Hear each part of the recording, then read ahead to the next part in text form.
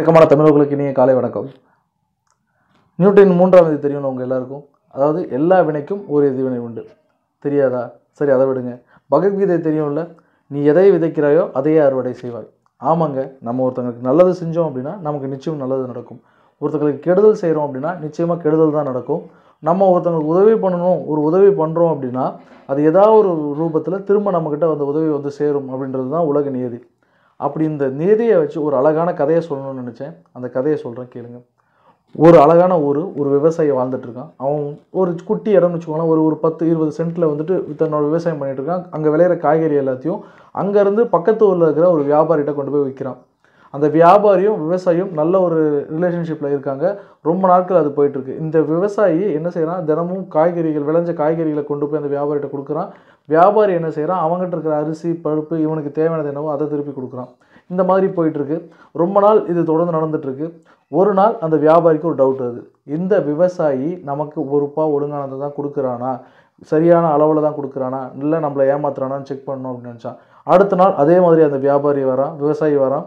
விவசாயிக்கிட்ட அவன் பொருட்களை காய்கறிகளை வாங்கிக்கிறான். வியா விவசாயி கேட்ட பொருட்களை வியாபாரி கொடுக்குறான். விவசாயி அங்கேருந்து போனதுக்கப்புறம் வியாபாரி விவசாயி கொடுத்த பொருட்களை இட வச்சு பார்க்குறான். அப்போது வியாபாரி தினமும் வாங்கிட்டு இருந்தது ஒரு அஞ்சு கிலோன்னு வச்சுக்கோங்களேன் அஞ்சு கிலோ. ஆனால் அந்த இட வச்சு பார்க்கும்போது அந்த பொருளோட விலை நாலரை கிலோ தான் இருந்துச்சு. வியாபாரிக்கு சரியான கோபம்.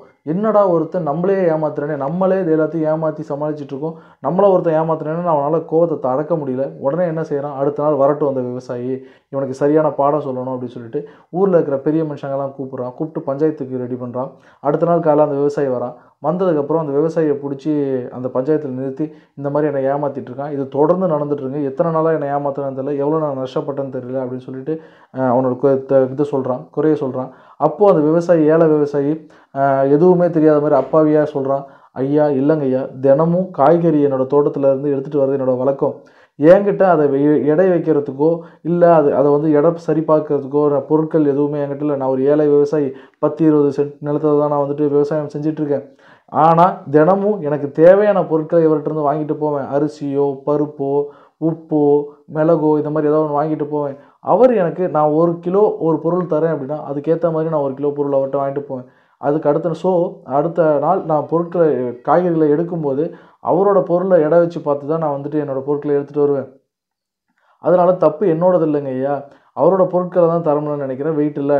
அதனால் வந்து இந்த தப்பு எல்லாமே வந்துட்டு அந்த வியாபாரி தான் சேரும் அப்படின்னு சொல்லி விவசாயி சொல்கிறான் அதுக்கப்புறம் தான் ஒரு விஷயம் புரிய வருது. வியாபாரி அந்த விவசாயியை தினமும் ஏமாற்றிட்டு இருக்கான். அவன் புத்திசாலி நினச்சி தான் வியாபாரி விவசாயியை ஏமாத்துறதாகவும் விவசாயிட்டிருந்து இவன் பயனடையாகவும் நினச்சிட்டு இருக்கான்.